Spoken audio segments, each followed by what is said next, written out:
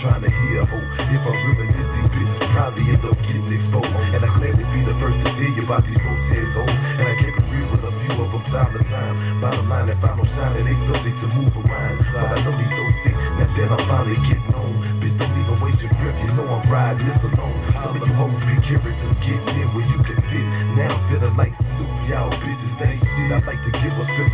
to that boppin' bitch Michelle. On the hustle for the dick, and I don't think she plan to feel. I heard she close to getting rich at the rate she was going roaching for some ends. She went from sucking in the altar, motherfucking in the Benz. Damn, I guess she getting it, and I ain't mad at you. But if you get inside my range, I'ma throw an empty can at you, bro.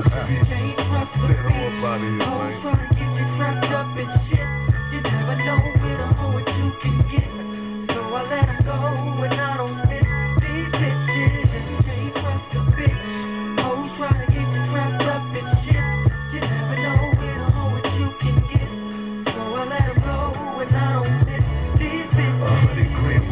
Of had these hoes so crazy. Five cars in the house, I have a plan in my baby.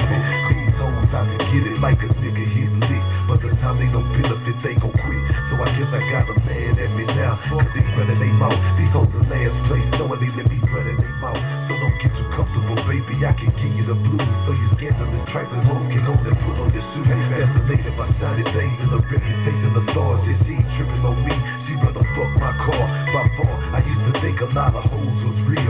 Until I seen her fuck a nigga to get their nails revealed. Now if that ain't the cheapest shit, then won't you tell me what is? What about them fucking with your partner while you watching your kids? I know a lot of people feel me from investing their time. But we gon' let the bitches know they out of line. I hope you get some bitch. Can't trust the bitch. Hoes trying to get you trapped up in shit.